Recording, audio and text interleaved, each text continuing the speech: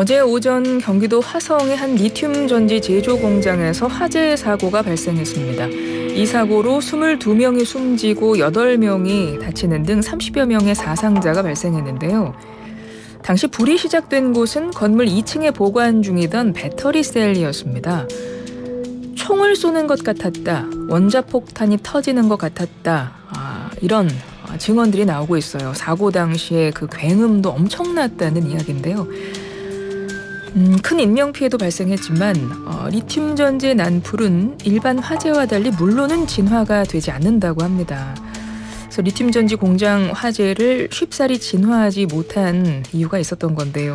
좀 관련해서 자세한 이야기 전문가와 알아보겠습니다. 연세대 기계공학과 홍종섭 교수 전화 연결하겠습니다. 교수님 안녕하세요. 네 안녕하세요. 예. 연세대 기계공학과 재직 홍종섭입니다. 반갑습니다. 네 반갑습니다. 아, 교수님도 이번에 화재 소식을 들으시고 좀 자세히 내용을 살펴보셨을 텐데 무엇보다 리튬 전지에 대한 좀 관심이 높아졌습니다. 어, 피해가 너무 컸고 또 일반 화재처럼 물로 끄는 것도 불가능하다 이런 내용이 알려지면서 더 그랬는데요. 리튬 전지의 어떤 특성 때문입니까? 네, 어, 우선 이번 화재 사고로 목숨을 잃으신 분들의 명복을 빌고 또 가, 족과 친지분들 잃으신 유족분들께 먼저 심심한 위로의 말씀을 전합니다. 네. 어, 이번에 화재를 유발한 리튬 1차 전지는 어, 내부 전극 물질의 하나로 금속 리튬을 사용하고 있습니다. 네, 금속 리튬은 알칼리 금속계에서도 가장 반응성이 뛰어난 물질이고 공기 또는 물과 만나게 되면 폭발적인 발열 반응을 만들어냅니다. 특히 물과 반응할 시에는 이제 수소가 발생하게 되는데 고온 고압 조건에서는 이런 수소도 산소와 만날 시에는 폭발적인 또 발열 반응을 만들어내기 때문에 2차적인 수소 연소 반응을 억제하기 위해서라도 리튬 1차 전지 화재 시에 이제 물을 사용한 소화가 어렵고 그래서 이번 화재도 방제 과정에 굉장히 오랜 시간이 걸렸던 이유 중에 하나라고 보시면 될 것 같습니다. 리튬 전지라는 게 우리가 전자 전기 제품에서 일상에 많이 사용하고 있는 걸로 알고 있기 때문에 특히 이번 사고가 많은 분들이 더 좀 관심 있게 지켜보신 이유인 것 같습니다. 그럼 우리가 일상생활에서 사용하는 데는 문제가 없나 위험하지 않나 이 부분도 많이들 궁금하실 것 같은데요. 혹시 우리가 일상생활에서 사용하는 리튬 전지에서 만약에 불꽃이 튄다 그러면 그럴 때는 어떻게 대응해야 됩니까? 뭐 물 같은 거는 사용하면 안 되겠네요. 네, 뭐 일, 일단 지금 이번에 화재가 난이던 리튬 1차 전지 같은 경우에는 이제 물로 소화를 하는 경우는 어렵고요. 뭐 지금 말씀 나온 것처럼 뭐 모래를 사용한다거나 이런 특수한 이제 리튬 전용의 소화 물질들을 사용을 해야 되는데 아직 국내에는 그런 법규나 이런 것들이 다 제도화되어 있지 않기 때문에 어 조금 어려운 부분들이 있고요. 그 다음에 이제 그 사용하는 것에 있어서 그런 화재 사고에 대한 것들에 대한 가이드라인도 아직 명확하게 규정돼 있지 않는 상황이라고 보시면 될 것 같습니다. 예. 좀 궁금한 걸 하나씩 여쭤보겠습니다. 일단 이번에 화재가 발생한 공장에서는요, 주로 리튬 1차 전지 생산한다고 합니다. 그러니까 이번에 화재가 발생한 거는 리튬 1차 전지군요. 네, 그렇습니다. 이게 네. 리튬 1차 전지와 2차 전지가 어떻게 다릅니까? 네, 뭐 일반적으로 지금 알고 계신 배터리는 사실 이제 2차 전지로 일반적인 전기차나 뭐 에너지 저장 장비로 쓰이고 있는 리튬이온 배터리인데요. 네. 어, 이런 리튬이온 배터리 2차 전지는 1차 전지와는 다르게 이제 조금 아까 말씀드린 이제 전극 물질을 리튬 대신에 흑연을 사용하고 있습니다. 이제 금속 리튬의 과도한 반응성으로 어, 안전 문제가 있었기 때문에 충방전을 안정적으로 진행하기 위해서 일반적인 2차 전지는 금속 리튬을 흑연으로 대체해 사용하고 있는데 이에 반해서 이번에 화재가 발생한 1차 전지는 에너지 저장 용량을 일단 극대화하고자 예, 좀 전에 말씀드린 것 같이 폭발적인 반응성을 지닌 금속 리튬을 이제 전극 물질로 사용하고 있기 때문에 비정상적인 환경에 배터리가 노출되면 흑연을 사용하는 일반적인 2차 전지보다 발열 반응과 폭발성이 훨씬 크다고 할 수 있습니다. 그러니까 우리가 주로 전기차, 휴대전화, 노트북 뭐 이런 데 들어가는 리튬 전지는 2차 전지, 리튬 이온 배터리란 말씀이시군요. 네, 맞습니다. 그건 네. 일상생활에서 이렇게 위험하지는 않습니까, 그러면? 네, 뭐 상대적으로 지금 금속 리튬을 사용하고 있지는 않기 때문에 좀 더 안정적으로 사용을 할 수 있고요. 아, 그런 면에서 이제 폭발성이 조금 더 덜하다고는 할 수 있습니다. 그렇지만 뭐 일반적인 전기차 화재를 보셨을 수도 있겠지만 뭐 이제 2차 전지도 비정상 상황에 노출이 될 경우에는 어, 충분히 폭발성이 있는 물질들을 사용하고 있기는 합니다. 아, 그렇습니까? 그럼 네. 일상적으로 우리가 사용하는 리튬 이온 전지라는 것, 2차 전지도 뭐 사용하는데 특별하게 유의해야 될 사항을 알아둘 건 없겠습니까? 어, 사실 뭐 지금 2차 전지로 쓰이고 있는 리튬이온 배터리는 주로 전기차 또는 이제 모바일 디바이스들이나 이런 것들이 활용이 되고 있는데 어, 이런 저 장비들은 일, 반적으로 전기적 또는 기계적 열정으로 배터리를 안정적으로 운영할 수 있도록 어느 정도의 일종의 매니지먼트 시스템들이 갖춰져 있고요. 그렇기 때문에 사실 소비자분들이 그렇게 걱정하실 정도의 어, 급격한 반응들은 사실 억제가 돼 있는 상황이고 네. 그런 부분들을 일단 그 제조사들에서 다 신경 써서 만들어내고 있기 때문에 안정적인 구간에서 현재는 사용하고 있어서 크게 아주 염려하시지는 않아도 될 거라고 보고 있습니다. 알겠습니다. 이번에 화재가 난 그 공장에서 보면 기사가 어떻게 나오냐면요. 네. 완제품인 리튬 배터리를 검수하고 포장하는 그 과정에서 불이 났다 그랬거든요. 그러니까 완제품에서 불이 난 거지 않습니까? 그렇습니다. 네, 네. 그러면 이 리튬 1차 전지는 주로 어디에 쓰입니까? 그 상태로 어디다 뭐 납품하려고 했었을 거 아니에요? 네, 뭐 일반적으로 지금 1차 전지라고 하는 건 어, 아시다시피 이제 충방전이 다시 일어나는 것이 아니기 때문에 한번 일, 그 일반적인 마트에서 구매하시듯이 쓰고 버리는 형태의 제품들을 얘기하는데요. 어, 그러다 보니까 이제 고용량의 배터리를 이제 쓰게, 되, 쓰려고 하는 뭐 일반적인 뭐 장기주의들 어디든지 활용이 될 수 있는데, 어, 사실 1차 전지는 이제 소비자들이 보시기에는 그게 그렇게 아주 친밀한 제품들은 아니고, 우리가 어. 일반적으로 보고 있는 2차 전지가 오히려 현재 더 친밀한 배터리라고 보시면 될 것 같습니다. 알겠습니다. 네. 완제품에서 지금 불이 붙어서 이게 15초 만에 막 폭발하면서 이게 엄청난 그 참사가 벌어진 거지 않습니까? 그렇습니다. 네. 어떤 상황을 추정하십니까? 왜 완제품인데 불이 붙었을까요? 네, 뭐 아직 소방 당국에서 조사 중인 그렇죠. 그건 맞습니다만 네, 전문가가 보시기에 어떤 경우에 그런 일이 있을 수 있습니까? 통상? 네, 일단은 배터리가 이런 화재 상황이 벌어지는 경우들 저희가 이제 열폭주라고 부르게 되는데요. 네. 네, 열폭주 현상은 일반적인 리튬 배터리가 열적이나 전기적 또는 기계적인 비정상 상황에 노출될 경우에 배터리 내부에서 이제 통제되지 않는 부가적인 반응이 발생하게 되고요. 이 과정에서 굉장히 큰 발, 양의 열이 발생하고 가스가 생성되고 또 배터리 내부 압력이 증가하고 그걸 통해서 급속한 연소 반응이 일어나는 과정을 말합니다. 그래서 만약에 배터리 내부에 결함이 있었거나 아니면 큰 강도의 기계적인 충격을 받았거나 또는 이제 주변에서 열 관리가 적절히 되지 않아서 배터리 온도가 상승할 경우에는 정상적인 작동 환경이라면 내부적으로 접합되지 않아야 할 양극 간극이 내부적으로 접촉하게 되고 앞서 말씀드린 이런 통제되지 않는 이런 발열 반응이 마치 폭주 기관차처럼 이제 급속도로 발생하게 됩니다. 그래서 그게 이제 배터리의 폭발로까지 이어진다고 보시면 될 것 같습니다. 아, 그러니까 열 폭주 현상 때문에 이게 15초 만에 이렇게 큰 불이 난 건데 열폭주가 될 수 있는 조건이라고 하면 아까 뭐 처음부터 만들어질 때 잘못 만들어졌거나 큰 네. 충격이 네. 가해졌거나 뭐 이런 경우를 지금 추정할 수 있다는 것이죠. 네, 맞습니다. 일반적으로 저희가 이제 배터리 열폭주의 그런 기작들을 얘기할 때, 어, 제조 단계에서 이런 결함이 내부적으로 있었거나, 어, 또는 외부에서 이제 충격이 가해져서 배터리가 파손이 됐었거나, 또는 이제 배터리가 열 관리가 제대로 되지 않아서 그 자체의 온도가 굉장히 높아지게 될 경우에는 통제되지 않는 이런 열폭주 반응이 일어나게 됩니다.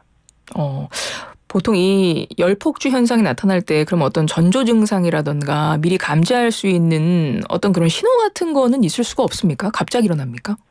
아, 예. 이게 리튬이온 배터리 이제 내부 상태 진단하거나 뭐 열폭주 현상을 조기에 파악하기 어려운 이유가 예. 예 아시다시피 배터리를 이제 마트에서 구매해 보시면 알겠지만 완벽히 밀봉된 형태의 폐쇄형 시스템입니다. 어, 이런 구조적인 특징 때문에 외부에서 배터리 상태를 이제 진단하거나 이렇게 모니터링할 수 있는 지표가 배터리 전압과 온도밖에 없는데요. 음. 이런 제한된 정보 때문에 열폭주를 조기에 진단 예측하기가 굉장히 어려운 상황이고요. 그런 이유로 일단은 현재는 배터리를 최대한 정기적 열적으로 안정적인 구간에서만 사용하도록 지금은 하고 있습니다. 아.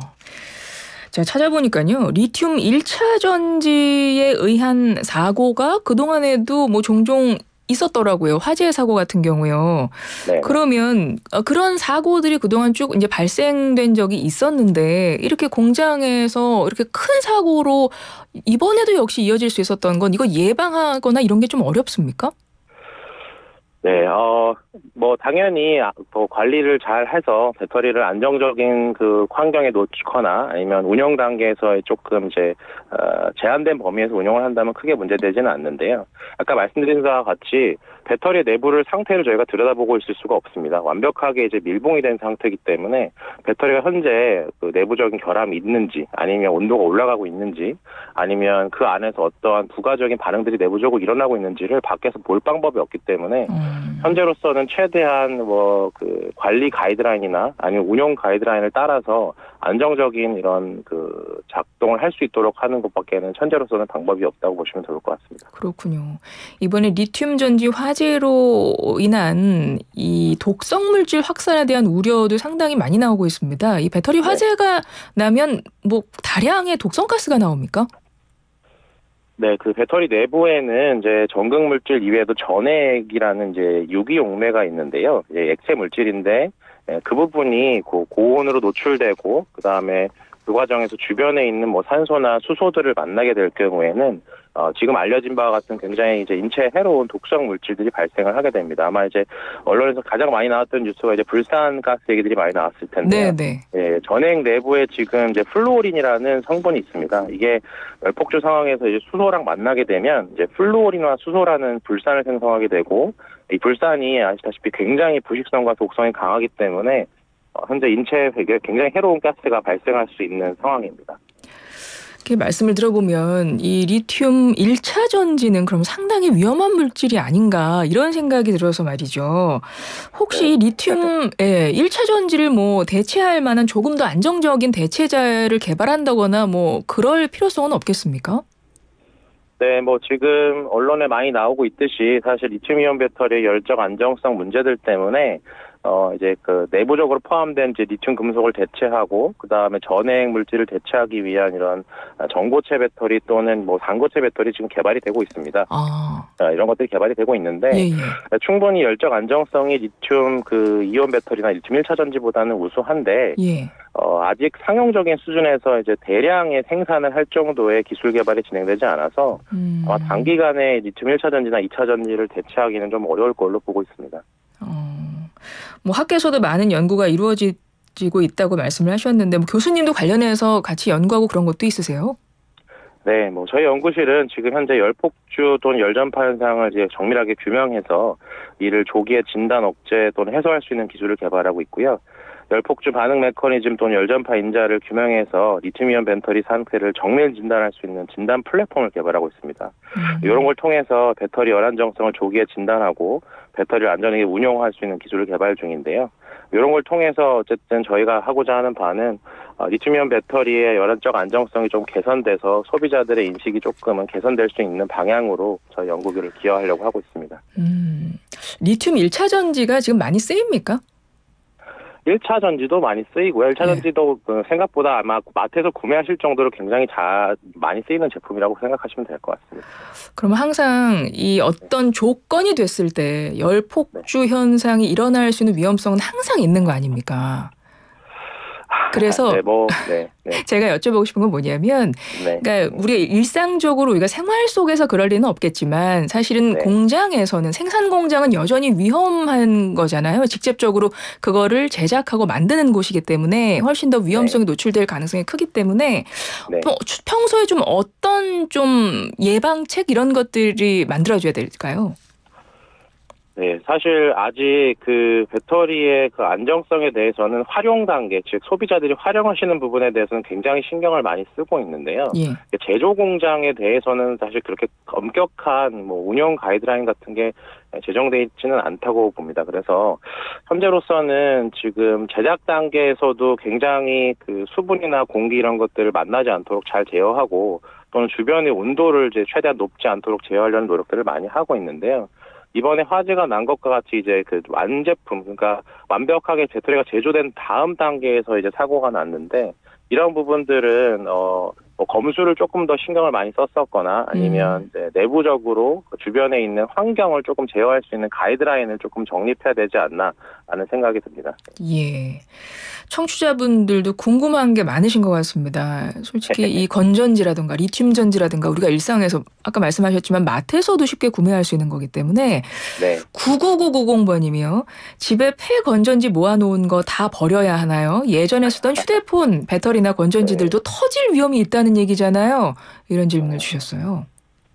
네, 뭐 일단 어 일반적으로 지금 현재 사용 중이신 배터리는 어 일단 뭐 크게 이제 열적으로나 기계적으로 파손된 상태에 보관을 하시지 않는 거라면 크게 문제되지는 않을 거고요. 예. 그리고 저장 용량 자체가 아마 일반 소비자들이 쓰시는 제품들은 굉장히 작기 때문에 내부에 있는 이제 소재 물질도 작을 것이고 그런 면에서 이제 폭발성이 굉장히 작다고 보시면 될 것 같습니다. 그리고 완전히 방전이 끝난 제품들은 오히려 훨씬 더 어, 폭발성이 더 줄어드는 상태로 변하게 되고요. 아, 그렇기 때문에 어, 완충 상태의 배터리를 보존하고 있는 게 아니시라면 음. 완전히 이제 방전이 끝난 상태의 배터리를 보존하고 계신 거라면 크게 문제되지는 않을 거라고 보고 있습니다. 예, 1589번님 물리적 충격 가능성이 있다는 얘기면 배터리 잘못 떨어뜨렸을 때 화재가 날 수도 있다는 소리 아닌가요? 이런 질문 주셨네요. 어, 예, 그 정도로의 충격은 사실 배터리에 크게 손상이 되지 않고요. 저희가 말씀드리는 이제 배터리의 충격은 외부에서 굉장히 날카로운 물질로 배터리를 이제 뿔고 들어가거나 아니면 네. 이렇게 꺾어서 이렇게 흔히 말해서 배터리가 꺾였거나 하는 등의 이슈로 인해서 배터리 내부의 물질들이 서로 접촉하게 되는 경우들이 발생하게 되는데 일반적인 소비자분들이 배터리를 떨어뜨리는 정도의 강도로는 이제 어, 내, 외부에 있는 그런 그 케이스가 아, 보호를 하고 있기 때문에 충분히 손상되지 않는 정도의 범위라고 보시면 될 것 같습니다. 네, 0482번님. 만약에 집에 있는 물건에서 이렇게 배터리에 불나면 당장 어떻게 해야 하나요? 물 뿌리면 가스가 나오니까요. 라고 하셨는데, 어, 집에 있는 배터리도 어떤 불이 나거나 그러면 물 뿌리면 가스 나옵니까? 어, 네, 충분히 어, 가스가 발생할 수 있는 상황이고요. 어, 내부적으로 지금 뭐 리튬이 존재하는 상황이라면 언제든지 가스가 발생할 수 있고 어, 그걸 떠나서 배터리 내부에 있는 전해액에서도 충분히 가스가 발생할 수 있기 때문에 어, 일반적인 그런 그 물이나 이런 것들로 소화를 하시기보다는 예. 어, 현재로서는 사실 아까 말씀드린 바와 같이 최대한 주변에서 이제 산소가 공급되는 걸 억제할 수 있는 정도로밖에 할 수가 없어서 어, 주변에 있는 이제 일반적인 뭐 불활성 물질들을 덮어놓거나 아니면 음. 어, 전문적으로 이제 설치되어 있는 리튬 전용 소화기를 사용을 해야 되는데 일반 가정집에 아직 그런 제품들이 이제 구비가 되어 있지 않기 때문에 어. 현재로서는 최대한 이제 물이나 탄소 이런 것들을 피하시고 어, 최대한 모래나 아니면 주변에 불활성 물질들, 이제 불이 타지 않는 물질들로 주변부를 덮어주는 형태로밖에는 현재는 할 방법이 없다고 보시면 될 것 같습니다. 네, 교수님 끝으로 이번에 리튬 전지 네. 화재 사고 예방하기 위해서 또 우리 청취자분들이 굉장히 어, 우리 일상 속에서 좀 걱정이 많으신 것 같아요. 짧게 네. 한 말씀 좀 부탁드릴게요. 당부하고 싶은 말씀 있으시면요. 네. 어, 뭐 여러 가지 화재로 아마 걱정이 많으실 텐데 리튬이온 배터리는 안전한 뭐 운용 가이드라인만 사실 정립이 잘 된다면 큰 화재 사고 없이 본연의 기능을 잘 발휘할 수 있습니다. 그래서 어, 제가 보기에 이제는 이제 학계, 산업계도 민간 모두가 배터리 안전 운용 저장 기술들에 이제 영향을 집중해서 조금 안정성을 확보하고 그다음에 배터리에 대한 소비자들의 두려운 마음을 해소해서 배터리가 우리 사회에 잘 정착될 수 있는 과정이라고 봐야 될 것 같습니다. 네, 알겠습니다. 예, 지금까지 연세대 기계공학과 홍종석 교수였습니다. 고맙습니다. 예, 감사합니다.